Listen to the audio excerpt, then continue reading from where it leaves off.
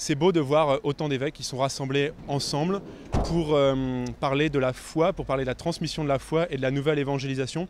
C'est un thème qui est urgent dans le monde entier, c'est un thème qui les mobilise tous. On les sent vraiment heureux d'être rassemblés, une, ambiance, une belle ambiance, un peu bon enfant. Et on sent que chacun a vraiment un souci de porter à cœur ce thème pour, euh, pour l'avenir de l'Église.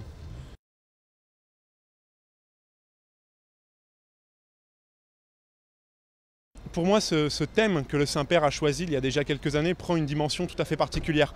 Je ne suis pas prêtre pour un diocèse français, même si je suis français et parisien. Je suis prêtre des missions étrangères de Paris, qui est un, institut missionnaire qui envoie des prêtres euh, missionnaires depuis 350 ans en Asie du Sud-Est.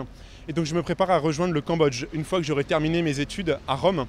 Alors c'est malgré tout la nouvelle évangélisation dans cette église qui a 450 ans, mais c'est une nouvelle évangélisation parce que ce mouvement recommence sans cesse. On n'a jamais fini de découvrir la personnalité du Christ, le premier évangélisateur, comme, comme le dit le, le Saint-Père.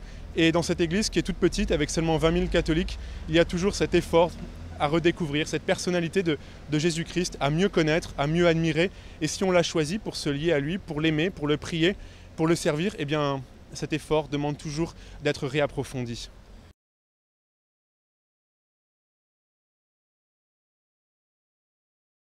Il faut imaginer que hum, les discussions de théologiens sont bien souvent difficiles à décrypter pour la plupart des gens que l'on connaît, pour la plupart de nos paroissiens, même pour ceux qui ont fait des études supérieures, le message de la foi peut apparaître comme, hum, comme difficile à comprendre. Bien sûr, le Christ s'adresse à toutes les personnes. On connaît la foi du charbonnier. On sait qu'il nous invite à être doux et humble de cœur avec les petits, que le royaume des cieux leur est réservé en premier lieu.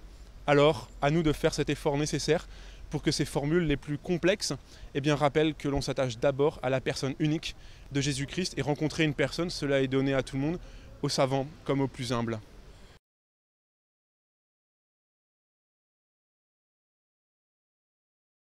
Le, rôle qui nous est demandé à nous, jeunes prêtres, est bien modeste. Il s'agit d'un travail d'assistant je dirais presque que c'est un travail de petite main, de distribution de documents, de traduction, de synthèse, d'aider tous ces évêques qui sont un peu perdus, hein, ces 400 évêques qui viennent du monde entier et qui, ne savent pas forcément euh, se repérer dans cette belle ville romaine, on est là pour les aider.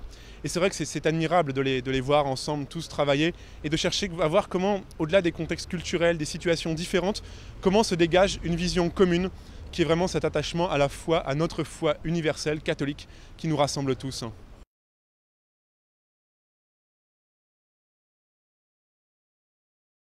La première chose qui nous rassemble, c'est le Christ, on le voit. La première chose qui nous rassemble, avant toutes ces discussions, avant tous ces débats, c'est effectivement, comme vous le dites si bien, c'est la prière du matin, l'office, l'office de tierce, dirigé par l'un des pères synodaux. Le Saint-Père était là lundi matin pour l'ouverture, c'est lui qui a prêché, nous donnant dans son homélie comme une sorte de, feuille de route pour les trois semaines et nous rappelant que hum, le protagoniste de la mission, c'est l'Esprit Saint, c'est ce que nous disait le bienheureux Jean-Paul II dans Redemptoris Missio, c'était le protagoniste, c'est toujours le protagoniste de la mission Agentes, et c'est aussi le protagoniste de la nouvelle évangélisation. Ça, on ne peut pas l'oublier que c'est d'abord le Saint-Esprit qui travaille dans les cœurs.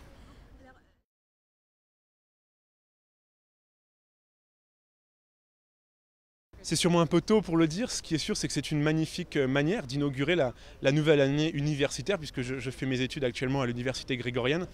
Je garderai d'énormes acquis, de très belles rencontres, la conviction que l'Esprit Saint a soufflé, aura soufflé pendant ces deux semaines et demie. Je n'ai pas encore mesuré tous les fruits.